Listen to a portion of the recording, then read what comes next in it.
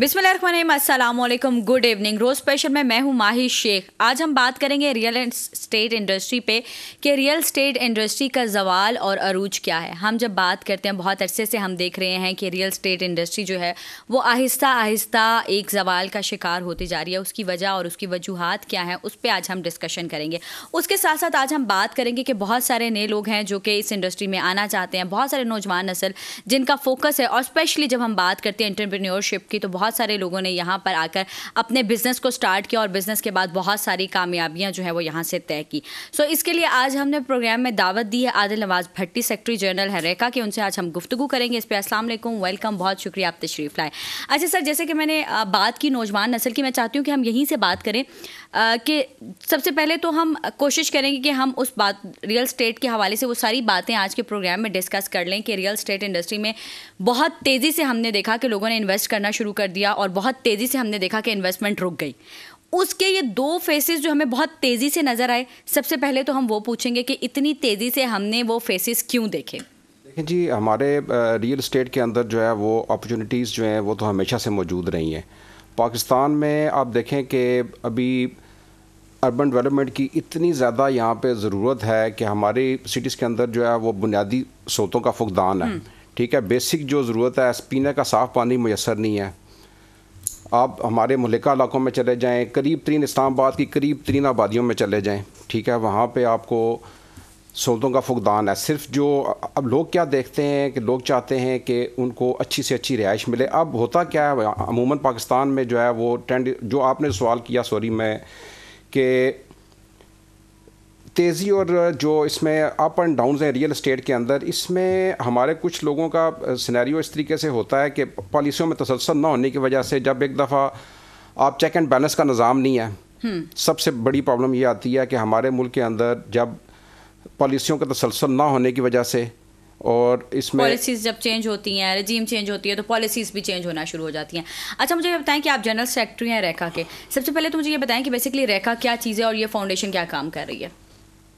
रेखा जो है वो उसका क्याम जो है प्रॉपर जो रियल स्टेट कंसल्टेंट एसोसिएशन है इसका क्याम 2016 में आया। वैसे तो जो है हमारी डीएचए की एसोसिएशन जो है वो 1999 से जो है वो वजूद में थी। लेकिन 2016 से इसकी ट्रांसफॉर्मेशन हुई है। और इसमें अभी जो जो हमारी खसूसियत है रेका की कि हमारे, अल्हम्दुलिल्लाह जितने भी हमारे मम्बरान हैं 500 मेम्बरान हैं हमारे, और एक एक मेंबर जो है हमारा वो अल्हम्दुलिल्लाह एफबीआर से रजिस्टर्ड है। हमारे जितने रजिस्ट्रेशन अथॉरिटीज़ हैं, जो लोकल एडमिनिस्ट्रेशन है, उसके अलावा रजिस्ट्रेशन अथॉरिटी जो हमारी डी एच ए की है, उसके अंदर हम सारे लोग रजिस्टर्ड हैं। हम D N F B P के साथ रजिस्टर हैं। हमारा अपना एक चेक एंड बैलेंस का निज़ाम है। हमारी जो है मेंबरशिप का एक स्ट्रॉन्ग हमारा एक सिस्टम है जिसके हम जो भी अपने मेंबर्स बनाते हैं उनके लिए हमने क्राइटेरिया रखा है जिसके अंदर हमारा वेरिफिकेशन होती है डी एच ए सिक्योरिटीज़ हमें चेक करती हैं। और उसके अलावा जो है वो पुलिस वेरिफिकेशन हमारी होती है। ठीक है तो ये रैका जो है मैं समझता हूँ कि हम बड़े प्राउडली ये कह सकते हैं कि हमारे डी एच पूरे डी एच एज और ख़ास तौर पे जो वेल और जो सबसे ज़्यादा प्रॉपरली ऑर्गेनाइज हम अपनी ऑर्गेनाइजेशन को समझते हैं रहकर और इसमें जो हाँ जो बताने की एफ़ ओ आर जो है फेडरेशन ऑफ़ रियल्टर्स पाकिस्तान उसके बनाने वालों में फाउंडर हमारी एसोसिएशन शामिल है रखा जब इसका क्याम एफ़ का आया तो उस वक्त भी हमारे लोगों ने इसका बुनियादी करदार अदा किया। तो हम बड़े प्राउडली कह सकते हैं कि हम रका के मेंबर हैं। ठीक। सर अच्छा मुझे एक सवाल और पूछना चाह रही थी। जब हम बात करते हैं रावलपिंडी चैम्बर ऑफ़ कॉमर्स की तो मुझे ये बताइए कि बहुत सारी चीज़ें जब चेंज हो रही थी, जब हम बात करते हैं कि नए टैक्सेस आए, बहुत सारे टैक्सेस लगे उसके हवाले से भी बताएँ कि क्या चीज़ें मिलकर जो है वो मुख्तलिफ़ रावलपिंडी चैम्बर ऑफ़ कॉमर्स का और हम इस्लामाबाद चैम्बर ऑफ़ कॉमर्स को भी उसमें इंक्लूड करते हैं। ये सब मिलकर क्या कोई रोल प्ले करती हैं उसमें या नहीं? या जो गवर्नमेंट ने आए दिन टैक्स लगा दिया, वो शुक्रिया। वैसे तो अभी मैंने बजट में नहीं लगे, लेकिन ये अगला सवाल होगा। अभी हम इस सवाल पर फोकस करते हैं। देखिए जो रियल इस्टेट सेक्टर जो है अभी ग्रो कर रहा है। अभी इसमें पहले इतनी हमारी जो है स्ट्रॉन्ग जो है वो इसमें स्ट्रॉन्ग बेस डाटा बेस मौजूद नहीं था। अभी D N F B Ps आने के बाद D N F B P का अदारा जो इंट्रोड्यूस हुआ है इसके आने के बाद हमारी चीज़ें काफ़ी ऑर्गेनाइज हुई हैं। ठीक है। D N F B P basically क्या चीज़ है? ये designated non financial business professional introduce हुआ है पाकिस्तान में। बेसिकली तो ये इम्प्लीमेंटेशन जो है इसकी तो पूरी दुनिया में मौजूद है ऑस्ट्रेलिया में मौजूद है ईस्टर्न यूरोप में सेंट्रल यूरोप में गल्फ स्टेट्स में यह अदारा पहले से काम कर रहा था। लेकिन पाकिस्तान में जो आया है ये फैटफ के एक किस्म का उसका ये हिस्सा है। और पाकिस्तान जो है वो जो ग्रे लिस्ट से निकला है वो भी इसी वजह से D N F B P की वजह से ही पाकिस्तान ग्रे लिस्ट से भी बाहर निकला है। तो ये डीएनएफबी का अदारा आने से जो है वो हमारी चीज़ें जो है स्टीम लाइन हुई हैं। अब भी हमारे जो जितने भी लोग हैं वो सारे रजिस्टर्ड हैं और हम लोग चैम्बर्स के साथ भी रजिस्टर्ड हुए हैं। हम लोग लोकल जो है अपना जो रजिस्ट्रेशन अथॉरिटीज़ हैं उनके साथ भी रजिस्टर्ड हैं। तो हमारी कोऑर्डिनेशन कायम हो रही है। मैं खुद जो वाइस चेयरमैन हूँ स्टैंडिंग कमेटी इसमें रियल स्टेट हैं एंड इसका तो रावपिंडी चैम्बर कॉमर्स में। तो हमारी कोऑर्डिनेशन तो मौजूद है, लेकिन अभी बिल्कुल इनिशियल स्टेज है, ठीक है? अभी हमें काफ़ी ज़्यादा इसमें काम करने की ज़रूरत है। काफ़ी अभी इसमें हम समझते हैं कि हम पीछे हैं इन चीज़ों में। ठीक है? तो अभी हम इन ताला कोशिश कर रहे हैं कि चीज़ों को बेहतर तरीके से लेकर आगे चलें। ठीक सर अच्छा ये बताइए कि अब हम देख रहे हैं अचानक से कि जब तक हम लास्ट रजीम की बात करते हैं कि उस टाइम पे हम देख रहे थे कि एकदम बहुत ज़्यादा इन्वेस्टमेंट हुई थी रियल स्टेट इंडस्ट्री में। लेकिन उसके साथ ही जैसे ही रजीम चेंज हुई, उसके बाद हम देख रहे हैं कि इन्वेस्टमेंट जो लोग करते थे, सबसे पहले जब आपके पास लाइक अगर मैं समझा पाऊँ और आपको भी और देखने वालों को भी, कि जब एक इन्वेस्टमेंट के लिए हमारे पास पैसा होता है और एक इन्वेस्टर सोचता है तो उसने पैसे कहाँ इन्वेस्ट करें तो वो सबसे पहले उसके जहन में आता है रियल स्टेट कि वो कोई घर ले सकता है प्लॉट्स ले सकता है, अपने लिए कोई प्लाजा खड़े कर सकता है प्लाजा ले सकता है, लेकिन एकदम से हम देखते हैं उसके बाद जाके वो जो है वो गाड़ियों की तरफ़ या और चीज़ों की तरफ़ अपने बिज़नेस को मूव करता है या फिर अपने इन्वेस्टमेंट को जो है वो मूव करता है। लेकिन अब सिचुएशन ये है कि इस टाइम पर हम देख रहे हैं कि पैसा उस तरफ़ नहीं लग रहा, उसकी रीज़न क्या है? देखें, जो पिछला अभी जो पहले भी आपने सवाल किया तो वो बेसिकली ये था कि जो लास्ट गवर्नमेंट थी, उसने एक पैकेज इंट्रोड्यूस करवाया था कंस्ट्रक्शन के हवाले से, ठीक है? उसके एमनिस्टी एक आई थी। और कोरोना के जो हालात पैदा हुए थे कोविड के उससे हाँ। भी पूरी दुनिया के जो लोग हमारे जो ओवरसीज़ पाकिस्तानी थे उन्होंने ये उस वक्त पैसा पाकिस्तान में भेजा ठीक है? तो वो कंस्ट्रक्शन पैकेज की वजह से पाकिस्तान में पैसा आया तो वो हमारे मुल्क में चूँकि बाकी इंडस्ट्रीज़ तो चलती नहीं है। ठीक है। बाकी इंडस्ट्रीज़ चल नहीं रही थी तो वो लोगों को सिर्फ़ हमेशा से ओवरसीज़ पाकिस्तानी का भरोसा जो रियल स्टेट इंडस्ट्री के ऊपर ही होता है। हम्म। क्योंकि ये सबसे ज़्यादा वो समझते हैं कि सिक्योर है कि वो किसी के हाथ में पैसा देना नहीं होता प्रॉपर्टी खरीदते हैं अपने। तो वो सारा पैसा जो है वो एकदम से रियल स्टेट के अंदर आया। हम्म। और रियल स्टेट के अंदर इस वजह से उसमें तेज़ी आई कंस्ट्रक्शन पैकेज के आने की वजह से। तो उस वजह से यहाँ पे मुल्क में जो है रियल स्टेट ने एकदम से बूम किया। तो उसके बाद जब ये नई गवर्नमेंट आई है तो इनकी पॉलिसीज़ टोटली डिफरेंट हैं। ठीक है इन्होंने कंस्ट्रक्शन पैकेज तो वो लास्ट गवर्नमेंट में जब उन्होंने इंट्रोड्यूस करवाया था तो उसी पीरियड के दौरान ही उन्होंने ये कह दिया कि जी हमसे बहुत बड़ी गलती होगी हम्म। तो हमें ये जो कंस्ट्रक्शन में पैकेज देने के बजाय हमें ये इंडस्ट्री में पैकेज देना चाहिए था तो ये हमारे लोगों के अंदर कन्फ्यूज़न तो हमेशा मौजूद है। यहाँ पे बड़ी जो मतलब वो कन्फ्यूज़न जो था वो मज़ीद बढ़ता गया और ज़्यादा क्रिएट हुआ। अच्छा सर जैसे हम एक बात करते हैं कि जब एक इंडस्ट्री को नुकसान होता है तो इसके साथ कितनी इंडस्ट्रीज़ और जुड़ी होती हैं जिनको नुकसान होता है? लाइक like, क्योंकि जब हमने घर बनाना है तो फिर तो सारी चीज़ें सीमेंट रेल बजिया बजरी सरिया सब इसी से मेरे ख्याल में लिंक्ड हैं। तो वो सब चीज़ों को नुकसान होता है। सब उसी तरह से बढ़ती हैं जिस तरह से एक आधी कोई चीज़ बढ़ रही होती है। देखिए रियल इस्टेट इंडस्ट्री जो है इसके साथ बावन के करीब इंडस्ट्रीज़ हैं जो इसके साथ अटैच हैं। फिफ्टी टू तो हमेशा जब भी इसमें हमारे एक मिसकनसप्शन मौजूद है कि शायद रियल इस्टेट इंडस्ट्री जो है इसमें आपकी जो है नॉन प्रोडक्टिव आई है। नॉन प्रोडक्टिव नहीं आए हमेशा से जो है अब रियल इस्टेट को पहली बात तो यह है कि हमारे मुल्क में समझा ही नहीं जाता कि रियल इस्टेट बेसिकली है क्या। रियल हम्म। इस्टेट में हर चीज़ आपका स्कूल जो है वो रियल स्टेट में शामिल है। ठीक है कि नीचे रियल से मुराद है कि जितनी लैंड पड़ी हुई है स्टेट उसके ऊपर जो चीज़ आप बनाते हैं जो ओनरशिप लेते हैं उसको कंस्ट्रक्ट करते हैं खड़ा करते हैं ये रियल और स्टेट मिल के रियल स्टेट का बिज़नेस बनता है। हम्म। तो आपकी जितनी आपको जो कुछ भी नज़र आता है चाहे वो आपको इसमें हॉस्पिटल नज़र आते हैं स्कूल नज़र आते हैं बिल्डिंग नज़र आती हैं कमर्शियल घर ये सारा रियल इस्टेट का बिज़नेस है। तो इस इस बिज़नेस को हमारे मुल्क के अंदर जो है वो समझा ही नहीं गया कि इसकी कितनी ज़्यादा एक्सपेंशन है। तो जब इसके ऊपर किसी किस्म की आप इसके ऊपर कोई पाबंदी लगाते हैं सेक्शन लगाते हैं नए टैक्सेस इंट्रोड्यूस करवाते हैं अब हमारे ये हमेशा से ये डिस्करेज करते हैं नई नई चीज़ें ऐसी इंट्रोड्यूस करते हैं होता ये बैरूनी एजेंडा हमारे मुल्क के अंदर अब पूरी दुनिया में आप देखें कि हमेशा से रियल इस्टेट को इनक्रेज किया जाता है। वहाँ पे आपने देखा कि पूरी दुनिया में जो है मुख्तलिफ़ मुल्क जो हैं वो अपनी स्कीम्स लॉन्च करते हैं कि जी आप हमारे मुल्क में पैसा लेकर आएँ। टर्की की देखें कि हर रोज़ आए रोज़ अखबारों में देखते हैं सोशल मीडिया पर देखते हैं वो कहते हैं जी हमारे पास पैसा लेकर आएँ। यू ए मुख्तलिफ़ किस्म की फैसिलिटीज़ हम्म, दे रहा है हमारे अभी आपने टर्की की बात की तो उसके साथ क्या अब जो टर्की में जलसला आया उसके बाद आप वहाँ के भी हालात देखेंगे। कि किस तरह से हर चीज़ जो है वो ज़मीन बहुत हुई। लेकिन अच्छी बात यह कि टर्की गवर्नमेंट ने वहाँ पर एक इनिशिएटिव लिया और जिन लोगों ने वो बिल्डिंग्स खड़ी की थी, उनके ख़िलाफ़ एक्शन हुआ कि भाई ये किस तरह से इतनी जल्दी अर्थ क्विक रेजिस्टेंस क्यों नहीं थी वो बिल्डिंग्स बेसिकली अभी भी जब भी हम कोई बात करते हैं और हाई राइज बिल्डिंग्स जितनी भी हैं, उन पर सबसे पहले सवालिया निशान यही आता है, क्या ये अर्थ क्विक रेजिस्टेंस हैं? क्योंकि 6.8 या 7.8 पे तो आप अच्छे खासे झूल जाते हैं और हम हैं तो अगर हम पाकिस्तान की बात करें तो हम पाकिस्तान क्या पूरे एशियन रीजन की बात करें तो हम तो हैं उसी पट्टी पे। हमारे यहाँ तो जलजले इसी तरह से आने हैं और इसी तरह से रहेंगे। तो अब पॉइंट ये है कि क्या हम अर्थ क्विक रेजिस्टेंस है? इसी तरह से टर्की और बाकी ममालिक को भी आप देखें कि क्या वो अर्थ क्विक रेजिस्टेंस बिल्डिंग्स बनाई गई या नहीं? सवाल तो सारा यहाँ पर था।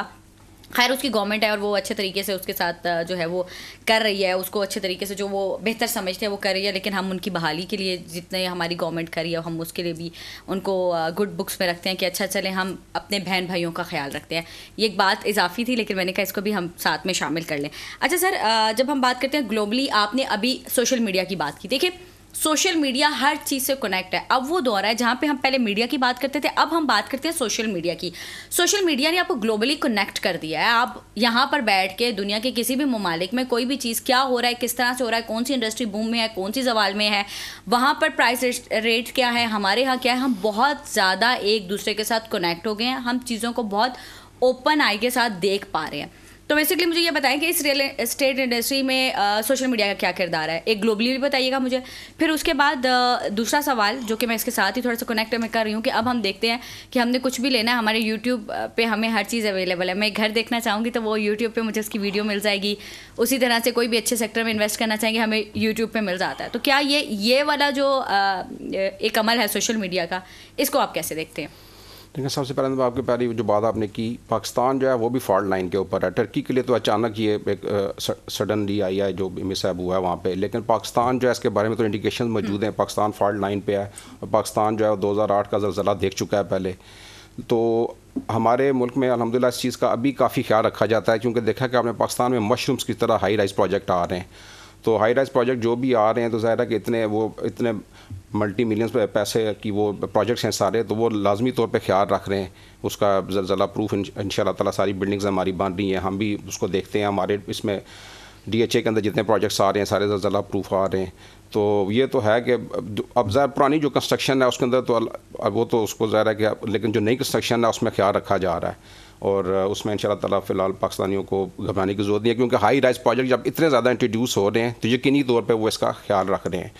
आपके स्वागत इस्लामाबाद में हम देख लेते हैं। इस्लामाबाद हमें वो न्यू ब्लू एरिया अब कितना फैलता जा रहा है और इतना फोकस हो गया है कि हम पहले एक बिल्डिंग देखते थे इस्लामाबाद में हाई राइज अब तो बेशुमार बिल्डिंग्स हमें जो है वो इस्लामाबाद के एरिया में नज़र आती हैं। इस्लामाबाद के सारे पोश एरिया की अगर आप बात करें तो बहुत सारी हाई बिल्डिंग्स अब हमें नज़र आना शुरू हो गई हैं यहाँ पर।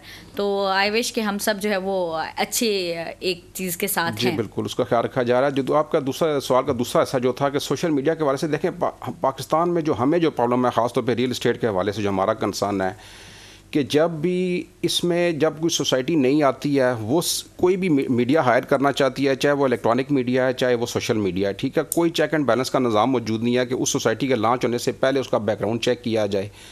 जिस बंदे ने भी पैसा लेके आना है मार्केट में और उसने इलेक्ट्रॉनिक वालों को या सोशल वालों को पैसा देना है कि जी हमारी मार्केटिंग शुरू करें उन्होंने बगैर किसी चेक एंड बैलेंस के वो उसकी एडवर्टाइजमेंट शुरू कर देनी है। हम्म, और हम्म। अरबों रुपये की इन्वेस्टमेंट जो है विद इन वीक्स हो जाती है।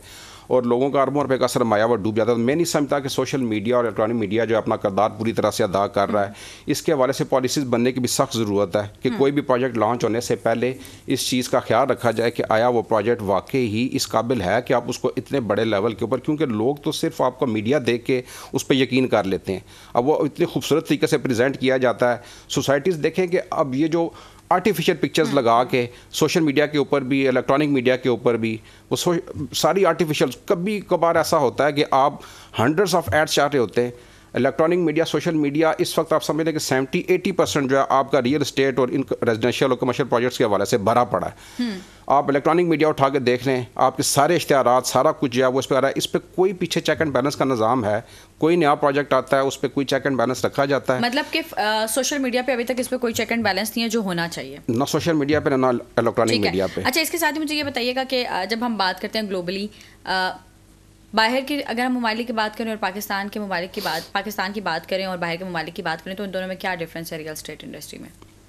हमारा, देखें, बाहर की दुनिया में तो आज से नहीं, हम कई दहाइयों से देख रहे हैं कि वहाँ पे एक प्रॉपर तरीके से रियल इस्टेट जो है, उसकी एक एक बाकायदा निज़ाम मौजूद है। वहाँ पे आपके बैंक्स आपको सपोर्ट करते हैं, ठीक है? आप जो फॉरेन इन्वेस्टमेंट जितनी भी है उसको हमेशा इंकरेज किया जाता है, कभी आपको डिस्करेज नहीं किया जाता, वहाँ पे बाकायदा लीजिंग सिस्टम मौजूद है, ठीक है? आपको रियल इस्टेट के साथ जो भी आपने घर ख़रीदना है, आपको पूरा कैश वहाँ पे रिक्वायर्ड नहीं होता।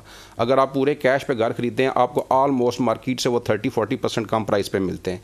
वहाँ पे सारा निज़ाम जो लीजिंग का मौजूद है, ठीक है? फुल सपोर्ट आपको गवर्नमेंट की भी मौजूद है बैंक्स की भी मौजूद है, एक प्रॉपर निज़ाम मौजूद है वहाँ पर हमारे मुल्क में बदकस्मती की इंतहा है कि पाकिस्तान में कोई प्रॉपर फाइनेंसिंग का निज़ाम मौजूद नहीं है। कोई यहाँ पे हमारा अदारा मौजूद नहीं है, ठीक है? वहाँ पर वैसे इस पर भी देखें फोकस करना चाहिए। मेरा सवाल ये है कि जब हम लास्ट टाइम जब हम बाकी चीज़ों पे इश्यूज़ पे देखते हैं कि गवर्नमेंट ना बड़े फ्रंट फुट पे आके आपके बहुत सारे मसाइल को हल करती है, जैसे कि बहुत सारी ऐसी चीज़ों में हम देखते हैं कि यतीम बच्चों के लिए या बेवाओं के लिए या फिर इस तरह की चीज़ों के लिए एक अलग सी चीज़ें मुतारफ़ कराई जाती हैं और उनको अलग से जो है वो बैंक भी और बाकी सब भी लीज देते हैं। तो गवर्नमेंट को चाहिए कि वो लोग, जैसे हम बार और बार बारहा बात करते हैं कि हमारे यहाँ तीन तबके जो हैं वो पाकिस्तान में हैं। लीड क्लास के लिए चीज़ें बहुत आसान है, लेकिन जब हम बात करते हैं लोअर तबके की, जो, जिनकी बात हम हमेशा रोटी, कपड़ा, मकान पे करते हैं, उनके लिए बहुत मुश्किल है कि मकान बनाना। तो वाई नॉट कि गवर्नमेंट इस पर भी फोकस करे और एटलीस्ट उनको इस तरह के घर प्रोवाइड कर दीजिए एक कमरा, जिस तरह के अभी अर्थ को बाद इन्होंने बालाकोट और उन सब इलाकों में हमने देखा कि बनाए।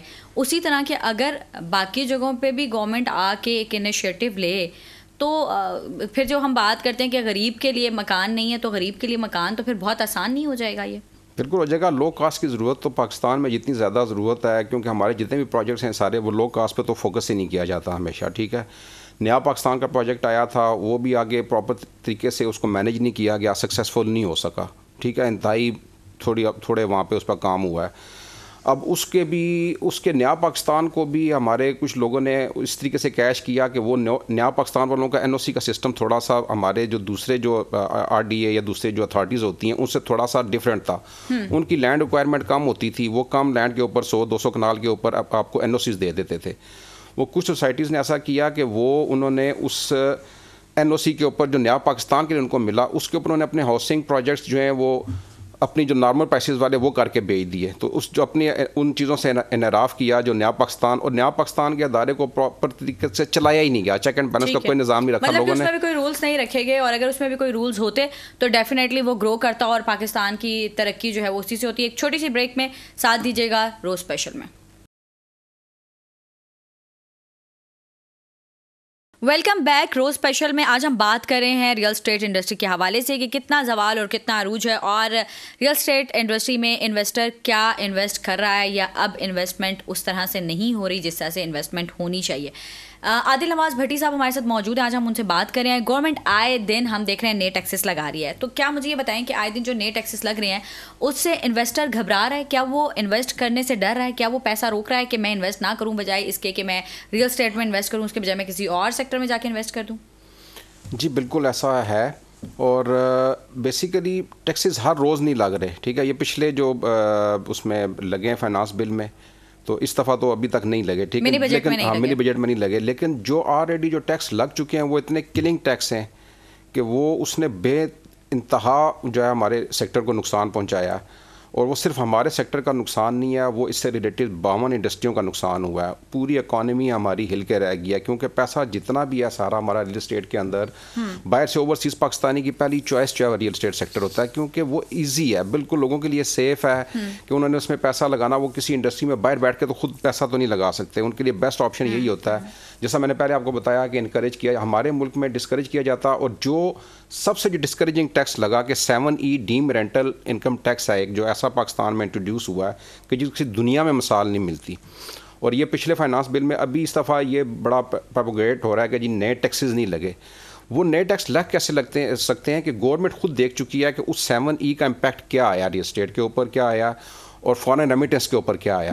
कि एक से दूसरा प्लॉट आप बाय करेंगे तो आपको उसके ऊपर पूरे साल का जो है वो जो आपकी उसकी टोटल वैल्यू है उसका वन परसेंट आपने टैक्स देना है और एफ़ बी आर का फाइव परसेंट आपने उस पर टैक्स देना है एफ़ बी आर रेट का। यानी कि मिसाल मैं उसकी ऐसे दूँगा कि अगर आपका एक करोड़ रुपये का प्लॉट है तो आपने एक लाख रुपया उस पर सालाना टैक्स देना है। ठीक। ठीक है? बंदे की पूरी जमा पूंजी वो लगा के पूरे एसेट बेच के कोई एक प्लॉट उसने हम्म। एक पे घर है या एक प्लॉट उसने अपनी ज़ात के लिए रखा है वो अब दूसरी चीज़ डिस्करेजिंग क्या है?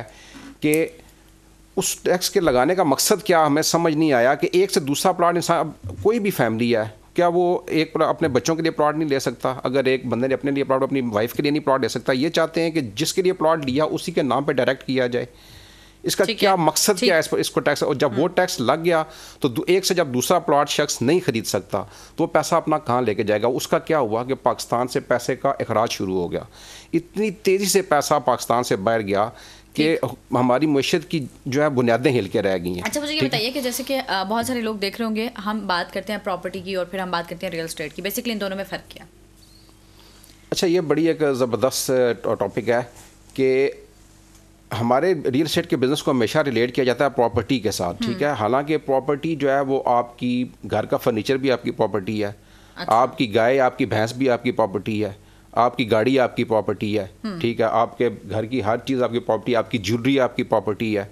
लेकिन रियल स्टेट टोटली एक डिफरेंट चीज़ है। इसमें ठीक है आपका मतलब प्लॉट भी आपकी प्रॉपर्टी है लेकिन हर प्रॉपर्टी जो है वो प्रॉपर्टी के बिज़नेस में शामिल नहीं होती। रियल इस्टेट जो है वो टोटली एक डिफरेंट फ़ील्ड uh, है। हम्म। ठीक है जिसका मैंने पहले थोड़ा सा आपको बताया कि रियल से मुराद है कि जितनी लैंड पड़ी हुई है सारी जितनी भी पाकिस्तान में लैंड पड़ी है किसी भी जगह वो रियल कहलाती है। स्टेट वो होती है कि जब आप उसके ऊपर कोई इमारत खड़ी करते हैं या उसको अपनी आप ओनरशिप में लेते हैं कोई प्लान उसके ऊपर बनाते हैं वो स्टेट खड़ी हो जाती है। ये रियल स्टेट मिल के ये रियल स्टेट का बिज़नेस बनता है। वो मैंने पहले आपको मिसाल से समझाया कि उसमें फिर हमारे इस बिज़नेस के अंदर हर चीज़ स्कूल कॉलेजेस घर जितनी नई मॉडर्न कंस्ट्रक्शन आती हैं जो भी आती हैं वो सारी रियल इस्टेट के अंदर आती हैं। तो ये प्रॉपर्टी और रियल इस्टेट टोटली डिफरेंट मतलब है दो फील्ड्स हैं। हम्म। आपकी ज्वेलरी आपकी आपके शेयर्स स्टॉक एक्सचेंज के शेयर्स वो भी आपकी प्रॉपर्टी में आते हैं। तो क्या हम वो सारे वो हम हम लोग वो काम करते हैं? हम लोग वो काम नहीं करते। ठीक मतलब वो ये डिफरेंस है रियल स्टेट और प्रॉपर्टी में कि बेसिकली प्रॉपर्टी आपकी ज़ाती प्रॉपर्टी है वो रियल स्टेट जो है वो लैंड और उसके ऊपर स्टेट जो है उसको हम रियल स्टेट का नाम देते हैं। अच्छा मुझ, आ, मुझे मेरे समेत बहुत सारे लोग देख रहे हैं उनकी रहनुमाई कीजिएगा कि अब हम देखते हैं कि बहुत सारे यंगस्टर्स बहुत तेज़ी से रियल स्टेट की तरफ़ आ रहे हैं। अच्छा जैसे कि हम देखते हैं कि कोई भी नई चीज़ आती है उसे मुतारफ़ कराया जाता है तो उसके हवाले से कोई ना कोई गाइडेंस दी जाती है। अब अचानक से हम देखते हैं कि बहुत सारा रुझान रियल स्टेट की तरफ़ आ रहा है बहुत सारे लोग धड़ाधड़ इसमें शामिल हो रहे हैं लेकिन क्या उनको कोई गाइडेंस दी गई आने से पहले? जैसे कि थोड़ी देर पहले आपने कहा कि सोशल मीडिया पे कोई चेक एंड बैलेंस नहीं है कोई गाइडेंस सोशल मीडिया के हवाले से नहीं दी जा रही। तो क्या इसी तरह से रियल स्टेट में कोई गाइडेंस दी जा रही है या नहीं? देखिए बस बदकिस्मती से पाकिस्तान के अंदर तो अभी तक कोई ऐसा ख़ास निज़ाम मौजूद नहीं है जो जहाँ तक मेरी नॉलेज में आया कि नस्ट के अंदर सिर्फ़ एक रियल स्टेट मैनेजमेंट का एक कोर्स इंट्रोड्यूस हुआ है। हम्म। वो उसको भी तकरीबन दो साल हुए हैं। ठीक है। ठीक है वो दो हज़ार बाईस या इक्कीस के एंड पे हुआ इंट्रोड्यूस हम्म, हम्म, हम्म। तो वहाँ से कुछ लोग कोर्स करके रियल स्टेट मैनेजमेंट में निकले हैं लेकिन दुनिया में जो है वो इसमें बाकायदा मास्टर्स हो रहे हैं ठीक है? मुख्तलिफ़ यूनिवर्सिटीज़ के अंदर मैंने स्टडी किया हुआ है कि स्वीडन के अंदर है ठीक है? ख़ास तौर पे बहुत ही अच्छी वहाँ पे मतलब लोग जाके गेन कर रहे हैं वहाँ से एमएससी कर रहे हैं रियल स्टेट के अंदर। पाकिस्तान के अंदर जो है वो अभी तक बाकायदा कोई तालीम का निज़ाम रियल स्टेट का नहीं और अशद तरीन ज़रूरत है। रियल स्टेट के अंदर एजुकेशन की गाइडेंस की अशद ज़रूरत है, बदकस्मती की इंतहा है। हाँ जो कुछ अच्छे जो आए हैं, कुछ अदारे जो अपने लोगों को एजुकेट करते हैं कोर्सेज वगैरह करते हैं, लेकिन वो सिर्फ़ इंटरनल लेवल के ऊपर हैं। ठीक है तो हुकूमत की सतह के ऊपर या इंस्टीट्यूशंस के लेवल के ऊपर, बड़े ग्रास रूट लेवल के ऊपर जो है कोई निज़ाम ऐसा मौजूद नहीं है जहाँ से लोग सीख सकें।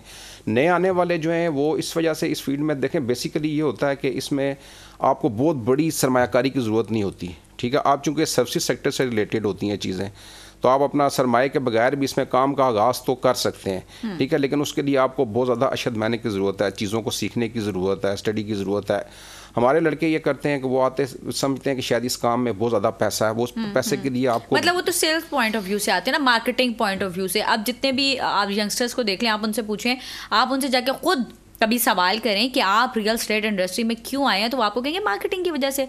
और हम इसको मार्केट करते हैं, हम कोई घर बेच देते हैं या हम कोई प्लॉट बेच देते हैं, हम कोई सोसाइटी का कुछ बेच देते हैं तो उससे हमें अर्निंग हो रही है। बेसिकली वो इस अर्निंग की वजह से जो है वो नौजवान तबका इस तरफ़ बहुत तेज़ी से आ रहा है। ना सिर्फ़ मेल बल्कि फ़ीमेल्स को भी हमने देखा है कि बहुत तेज़ी से वो इस इंडस्ट्री की तरफ़ जा रही हैं।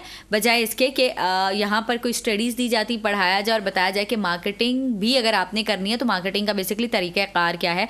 और सबसे ज़्यादा हमारा प्रॉब्लम ये है कि हम तरीक़ाकार नहीं सिखाते, हम किसी चीज़ में बताते ही नहीं है कि रियल स्टेट इंडस्ट्री की तरफ़ जब आप स्टेप्स ले रहे हैं तो वो किस तरह से आपने जाना है, किस तरह से आप उसके अंदर खुद भी इन्वेस्ट कर सकते हैं। आप किस तरह से खुद इन्वेस्ट करके जो है वो अपने लिए अपॉर्चुनिटीज़ उसमें अवेल कर सकते हैं बेसिकली बिल्कुल नए आने वालों के लिहाज से फिर मेरे वजान में एक बात आई कि नए आने वालों को पाकिस्तान में मिस यूज़ किया जा रहा है। देखें मैंने बताया कि बाहर की जो बाहर के ममालिक बाहर के ममालिक में बड़ा ऑर्गेनाइज काम है वहाँ पर लोगों को मिस यूज़ नहीं किया जाता। हम्म। ठीक है वहाँ पर चेक एंड बैलेंस का बाकायदा निज़ाम मौजूद है। हमारे मुल्क में बाकायदा निज़ाम नहीं है लड़कों को हायर बच्चों को हायर किया जाता है हम्म, और उनसे अपने प्रोजेक्ट्स बिकवाते हाँ, हैं ठीक है? वो मार्केटिंग उनके पास कोई बैकग्राउंड नहीं है उनके पास नॉलेज नहीं है जिससे मैंने कहा कि लड़के आ तो जाते हैं लेकिन उनको नॉलेज के बगैर जब आते हैं इतनी बड़ी इंडस्ट्री अगर हम इसी में नॉलेज देना शुरू कर दें और इसी में बच्चों को पढ़ा कर आगे इसी इसी में लेकर आ जाएँ तो मेरे ख्याल में पाकिस्तान बड़ी तेज़ी से तरक्की करेगा रियल स्टेट इंडस्ट्री में ही तरक्की करने लगा क्योंकि यूथ इस मुल्क में सबसे ज़्यादा यूथ है और यूथ को अगर आप पॉजिटिव वे में लगाएँ तो ये सबसे अच्छी बात है।